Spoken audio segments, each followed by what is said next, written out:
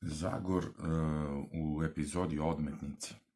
Priča počinje na otprilike polovini ove prethodne sveske ludilo čoveka munje, naravno korica se odnosi na prethodnu priču. Tekst je uradio Camberleti, a crtež Mađantini. Samo da vidim gde tačno počinje. Ovde, negde, znači na 57. strani. Radi se o, jednoj od onih epizoda koje služe da prespoje dve malo duže epizode. Znači imamo ovih 30 stranica ove sveske i, i jednu, jednu svesku nakon toga.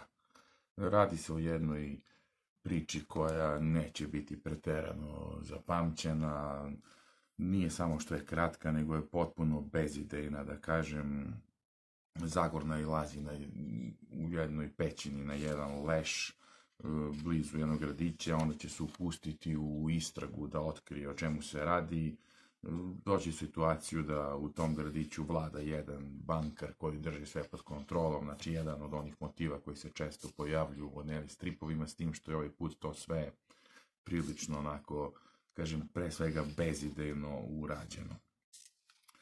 Zanimljivo je da se pojavljuje Elias i njegova sestra, to je lik koja ima sposobnost da, da komunicira sa životinjama. Ja se ne sećam stvarno da li sam čitao tu te epizode gde se on pojavlja ili nisam, nekako mi deluje poznato. Jedan od simpatičnih likova je ovaj Periš koji je nekada radio za ovog bankara, revolveraši u pitanju i on je bio zaljubljen u, u Eliasovu sestru Ritu, međutim ljubav nije uspela zbog okolnosti da Rita jednostavno nije htela da, da bude u vezi sa čovekom koji radi za lika koji jednostavno se bavi korupcijom i iznuđivanjem.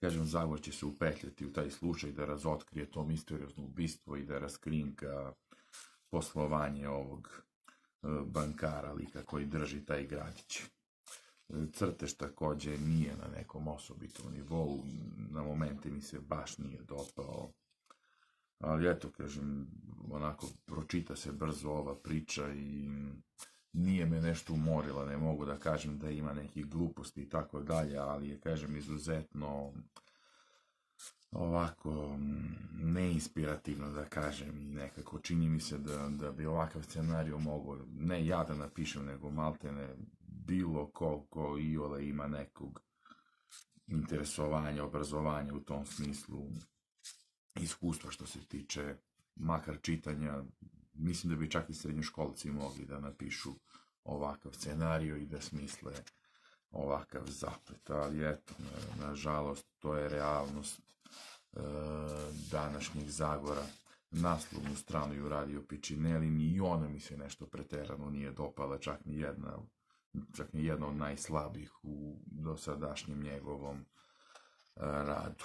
Kažem, jedna od interesantnih stvari je ta romansa između Periša i Rite i ona mi je nekako i obeležila u pozitivnom smislu ovu kratku priču.